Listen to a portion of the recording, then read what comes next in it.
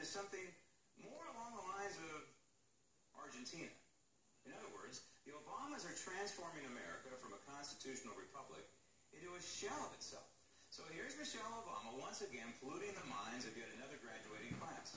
This time Oberlin College. The First Lady flies into Oberlin, Ohio. Her staff sets up her teleprompter, and voila. Another America is bad and we must change her speech is ready to unfold. Think about how even with all the gridlock and polarization in Washington, we have made so much change these past six years. 12 million new jobs, 16 million people who finally have health insurance, historic agreements to fight climate change, epic increases in college financial aid, more progress on LGBT rights than any time in our history. And today, it is no longer remarkable to see be- two beautiful black girls walking their dogs on the south lawn of the White House. That's just the way things are now.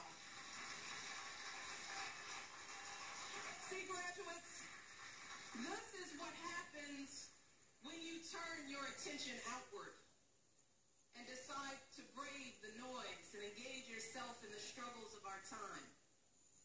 The struggles of our time. That's just the way things are now. This woman is fighting a civil war in this country that doesn't exist. It's astounding.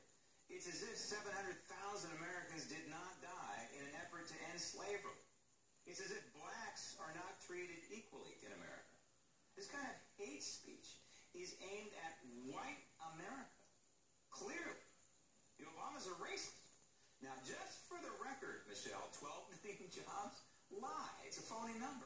Many of the Obama jobs that were created are part-time. By the way, the number should be more like 20 million jobs over six years. 16 million people have health care? Lie. 6 million tops through Obamacare. Climate change? The big lie.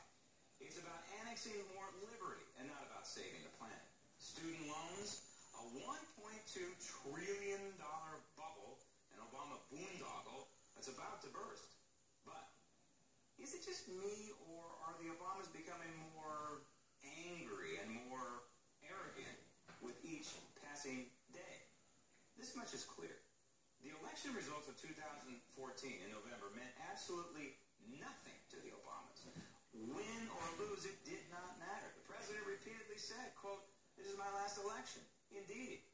Since last November, the Obamas are clearly ruling over us based on their radical will and not the will of we the people. This edition of the Daily Ledger is now on its way to the archives of the Library of Congress. Thank you for watching. Ledger.